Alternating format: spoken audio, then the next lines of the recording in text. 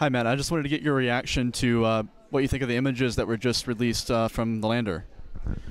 I have to admit, uh, I got pretty emotional there with Holger as well. It's just, it still hasn't dawned on me really.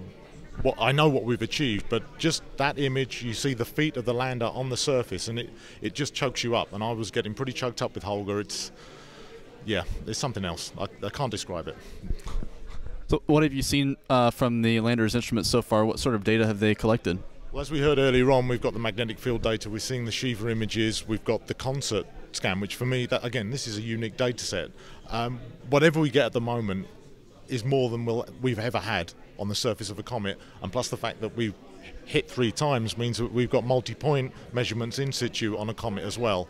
Um, I know that um, Ptolemy and COSAC have got have sniffed as well and got much more than uh, they've got so far ever when they've opened their, uh, their, their noses, as it were, and they're really happy um, already. So this is the point. We've already got so much, so much science on the surface, and uh, it's just the time that it takes to sift through this to make sure what you're seeing is what, what you believe. So yeah, it's it's fantastic.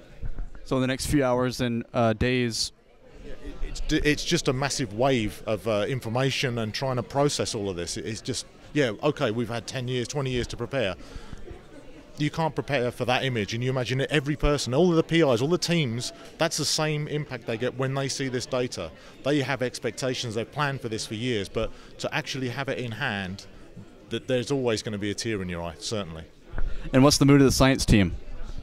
Jubilant, elation. I mean, just it's it just draws everyone even more together to say, yeah, we've done this step, and now we move on, uh, get more science done we're on the cusp of releasing some of the first results. These have had to go through peer review, and that's when you double check that all of your decimal points are in the right place. That's going to come out next. You'll hear about that, the orbiter first results.